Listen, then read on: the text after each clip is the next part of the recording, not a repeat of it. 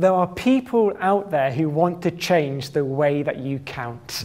Uh, they want to change the world so that we stop counting using 10 symbols and start counting using 12 symbols. I love them. I think these guys are great. Let's talk about what we know so far. So the way we count is the decimal system. It uses 10 symbols. So let's, let's just write those out first of all. 0, 1, 2, 8, 9. Once we get to this point, we start to have to make our numbers using combinations of the symbols we've already got. 12, 13, 14, 22, 23. Now, if we had been born with six fingers on each hand, then we would have 12 fingers. And maybe we would have started using something called the dozenal system, where it's based on 12 symbols. And there are some people out there who think this is the system we should be using. They think we should have six fingers on each hand. They're, they're, they're disappointed we don't have six fingers on each hand because they think it's a much easier way to count. So first of all, if we're going to use 12 symbols, I need two extra. Let's have a look at what they suggest. For 10, we're going to have a symbol like this. That's called dec. And for 11, we're going to have a symbol like this which is called L. So now it reads 0, 1, 2, 3, 4, 5, 6, 7, 8, 9, dec L. This would be 12. In fact, they say do. So this is do, do 1, do 2, do 3, do 4, do 5, do 6, do 7, do 8, do 9, do dec, and do L. So do L would be 12 and 11 more. So that's 23.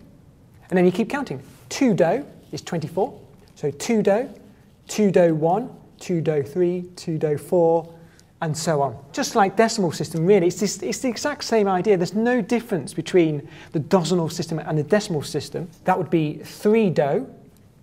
This would be 4 do, and you keep going, you'd get 9 do, then you'd get dec do, L do, and then you'd get do do dodo, 12 12s. 12 12s, that's 144.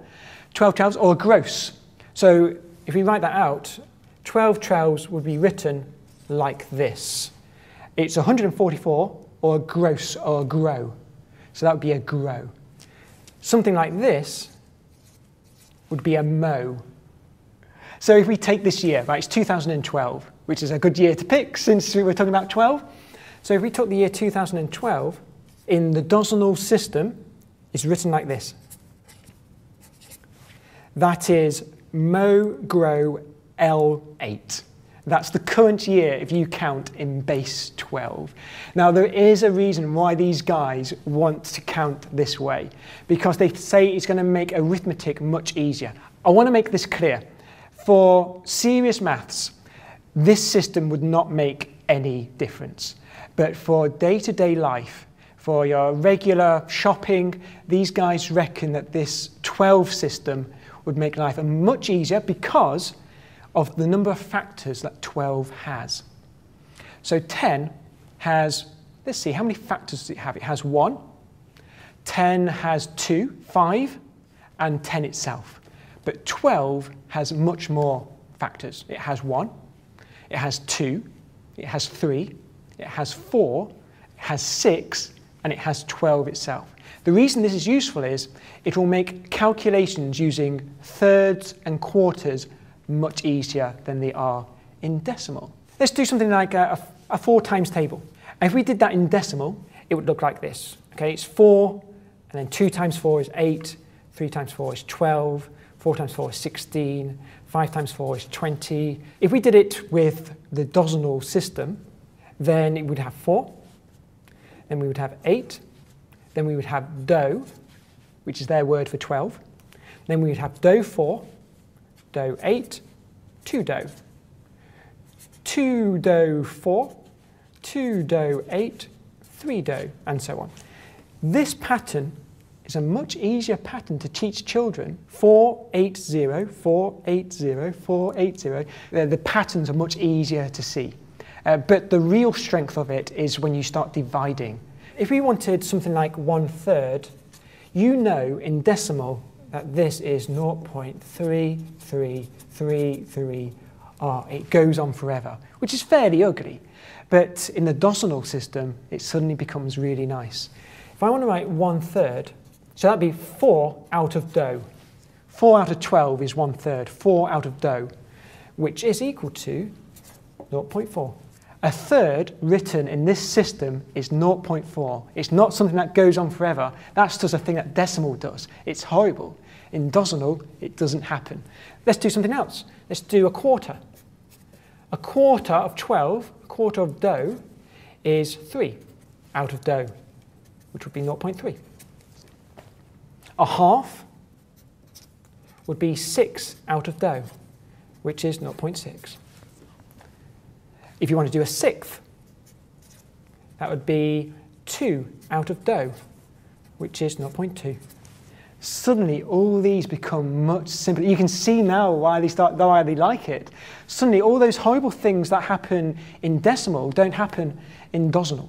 If we had been born with six fingers on each hand, and this is the system we have learnt, and then I came to you and said, no, I've got an idea, let's not use base 12, let's use base 10 you would laugh in my face. Why would you use base 10? It's not as good. Now, naturally, we actually count in 12s. In, historically, weights and measures were in 12s. So you would have feet and inches, 12 inches to a, to a foot.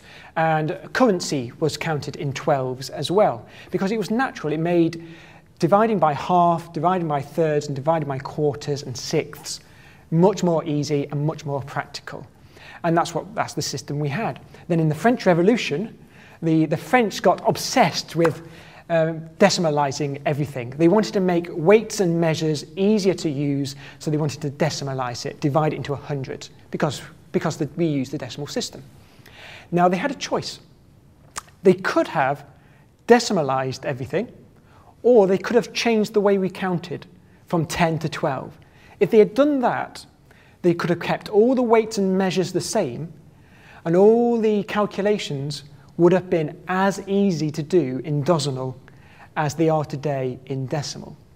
Now, they chose to make things metric and keep the system. Maybe they made the wrong choice. In fact, in the French Revolution, they went so mad with decimalization that they had a decimal week, they had a decimal calendar, and a decimal clock as well. Uh, they did that for a few years, didn't take off. What would pi be? Would pi be the same? So if we talk about serious maths, something like pi, it would look a lot different. And it would involve these dec symbols and L symbols. And if, I, if we look at it, it, it looks weird and unusual. But if you were born with this system, it would be fine, it would be normal. There's no significant difference in the mathematics. The real difference this would make would be to just your regular life and might make, uh, it might make arithmetic easier for children as well. But the one thing I guess people are going to say is when you are very small and learning about numbers, mm. your fingers and your hands are a really useful learning aid. You'd be taking that away from children right at the start. There are, well, to answer that, there are some cultures that still use base 12, and what they do is they count on the segments of your fingers. One, two, three, four, five, six, 789 dec L dou. Just as easy to use. Right, how many, how many arrows do you want? So the next one, let's say we did three to the power of, to the power of, to the power, oh, arrow, arrow, arrow, or whatever you want to call this. Uh, uh, three, well that, that, that, that, that is equivalent to three to the, to the double, to the double, to the three.